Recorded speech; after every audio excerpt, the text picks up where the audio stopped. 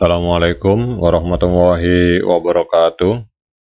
Teman-teman, selamat datang kembali di warung kopi kripto Tarakan Vision FX Jadi teman-teman di warung kopi kripto ini kita akan selalu mengupdate info-info terbaru seputar perkembangan di dunia cryptocurrency untuk teman-teman yang hari ini bermain di dunia kripto, baik Anda sebagai seorang trader maupun sebagai seorang investor, saya mengajak Anda untuk hadir mampir ke warung kopi kripto Tarakan Vision FX untuk mendapatkan update info-info terbaru seputar perkembangan dan situasi yang terjadi di dunia cryptocurrency. Oke teman-teman, untuk hari ini kita akan melakukan update harian tentang perkembangan ekosistem Pi Network yang ada di seluruh dunia. Yang pertama kita akan jalan-jalan ke negeri Cina teman-teman. Ini ada sebuah tweet dari Doris Yin. Kita semua tahu bahwa beliau adalah seorang influencer terkenal di dalam Pi Network dari sini ini memiliki sekitar 279.000 follower. Ini menuliskan sebuah status yang sangat luar biasa.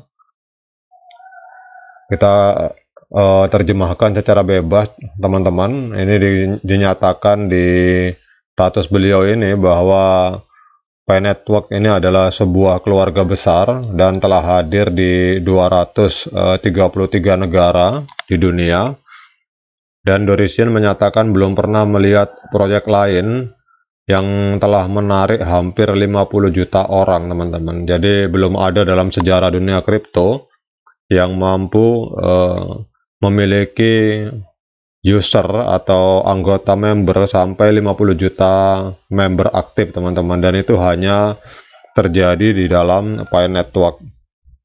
Beliau menyatakan di sini bahwa Pi Network telah ada dalam kehidupan para pionir selama lebih dari empat tahun dan Pi Network telah menghubungkan pionir dari berbagai negara karena memiliki tujuan yang sama. Jadi ini adalah sebuah latihan sosial dan latihan spiritual. Jadi semua member Pi Network dinyatakan oleh Dorisin ini harus belajar bagaimana saling menghormati dan memiliki tekad ketekunan dan berorientasi pada tujuan utama.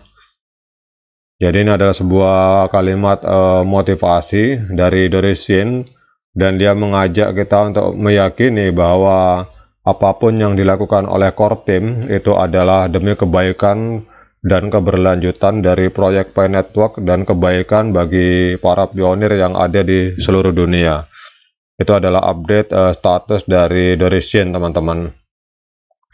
Kemudian yang kedua kita akan jalan-jalan ke Tiongkok teman-teman. Ini ada status dari seorang pionir yang memiliki 27.000 follower dalam Twitter. Dia menuliskan bahwa ada sebuah hotel di Cina bernama Hotel Senong. Jadi lantai ketiga di Hotel Senong di Cina ini sepenuhnya dipesan untuk kegiatan yang terkait dengan Pi Network. Jadi kalau kita melihat dari video ini, mereka memiliki ruang konferensi untuk pertemuan yang terkait dengan Pi Network. Kemudian hotel ini juga mendukung global consensus value di mana kita tahu bahwa dalam kesepakatan global consensus value itu satu koin Pi dihargai sekitar 314.000 US dollar atau 4 miliar rupiah. Kemudian kalau kita melihat dari video ini di lantai hot, di lantai ketiga Hotel Senong ini teman-teman, suasana penuh semangat itu auranya sangat terasa. Kemudian setiap ruangannya disiapkan khusus untuk memfasilitasi berbagai aktivitas yang terkait dengan proyek Pi Network. Jadi di ruang konferensi mereka, pionir dari berbagai belahan dunia berkumpul dan bertukar gagasan, memperkuat kolaborasi, dan merencanakan langkah-langkah di masa depan. Jadi para peserta rapat juga ke depannya di dalam hotel ini juga membahas perkembangan terbaru dalam ekosistem Pi, kemudian berbagi pengetahuan uh, tentang teknologi blockchain dan berdiskusi tentang cara memperluas jangkauan dan penerimaan Pi di seluruh dunia. Oke teman-teman, untuk selanjutnya kita akan eh, jalan-jalan uh, ke negeri Cina. Ini ada sebuah tulisan dari uh, seorang pionir yang bernama Wang Li memiliki 9000 follower. Dia memuat video tentang sebuah transaksi besar yang ada di Cina yaitu jual beli mobil, mobil mewah dengan menggunakan CoinPy teman-teman. Jadi dia menyatakan di dalam uh, twitternya bahwa setiap kali para pionir melihat Picoin melakukan transaksi besar mereka merasa gembira ketika mereka melihat klub-klub uh, atau ekosistem-ekosistem Pi bermunculan di berbagai belahan dunia, hati mereka menjadi gembira. Dan lebih gembira lagi ketika mereka melihat semakin banyak pedagang yang mendukung transaksi yang bernilai tinggi di mana satu koin Pi itu dihargai dengan uh, sesuai dengan harga dari global consensus value. Kemudian yang keempat teman-teman kita akan jalan-jalan ke Vietnam. Ini di Vietnam terjadi barter. Jadi P barter ini telah menjadi tren yang tidak terbendung di Vietnam teman-teman di mana para pionir Pi Network itu menggunakan Pi sebagai alat tukar untuk melakukan transaksi dengan nilai global consensus value yang tinggi. Jadi dalam suasana yang penuh semangat, para pionir bertukar barang dan jasa menggunakan Pi sebagai mata uang digital mereka, teman-teman. Jadi P barter ini bukan hanya sekedar aktivitas perdagangan, tetapi juga mencerminkan semangat kebersamaan dan kolaborasi di antara pionir Pi. Mereka saling mendukung dan memperkuat ekonomi internal komunitas dengan menggunakan Pi sebagai sarana untuk mencapai pertukaran yang saling menguntungkan teman-teman.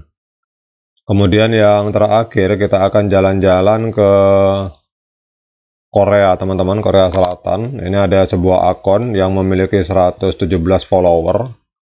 Di sini dia menuliskan di memposting sebuah video di mana ada sebuah restoran yang menyediakan masakan pedas yang menariknya adalah bahwa restoran ini yang kita lihat di video ini menyediakan masakan yang sedap ini ternyata menerima pembayaran menggunakan koin Pi teman-teman. Jadi ini adalah sebuah pergerakan luar biasa bagi para dari para uh, pionir dan juga ekosistem Pi yang ada di uh, Korea Selatan teman-teman kalau kita lihat di video ini dia hanya membayar 0,2 Pi untuk melakukan transaksi pembelian makanan di restoran yang ada di Korea jadi demikian teman-teman untuk update informasi ini tentang Pi Network. Semoga menambah semangat kita. Ternyata ekosistem Pi Network ini berkembang pesat di seluruh belahan uh, penjuru dunia. Semoga juga semangat itu juga bisa kita rasakan bersama-sama. Tetap semangat dari saya. Uh, sekian informasinya. Kemudian uh, jangan lupa klik petir yang ada di handphone kita masing-masing.